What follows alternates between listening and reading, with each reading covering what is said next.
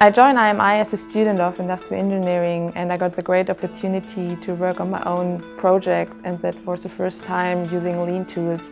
And today I'm working as a lean champion and support the continuous improvement at one of our sites in Germany. And in addition, I was trained by IMI as a lean assessor and now regularly evaluate other sites within the group under lean aspects. What I like about working for IMI Precision Engineering is that I got an insight into the many different areas of a company and so I learn new things every day and especially at the beginning of my career that is a great chance to expand my knowledge. And also working for an international company gives me the opportunity to visit different sites all over the world and to get to know the different cultures and that is a very exciting and varied environment.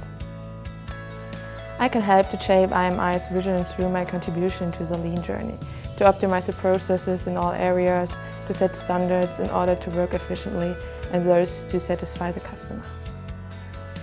And this together with the highly motivated people and the excellent teamwork across the group will help us also to achieve challenging goals and this is a foundation for further growth.